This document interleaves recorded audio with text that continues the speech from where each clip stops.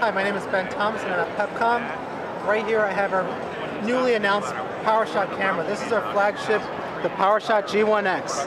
Uh, this camera stands out amongst the competition because of its large sensor. It's the largest we've ever had in a point and shoot. It's a 1.5 inch. What that means is it's right below the APS-C size sensor, but right above a Micro Four Thirds sensor, giving you beautiful low light performance as well as beautiful background uh, blur.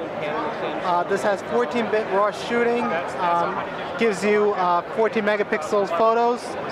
You have an ISO range up to 12,800. Uh, the lens is a fixed lens. It's a four times optical zoom lens. The aperture at 2.8. It can go up to f16, so it's a nice wide and quick lens.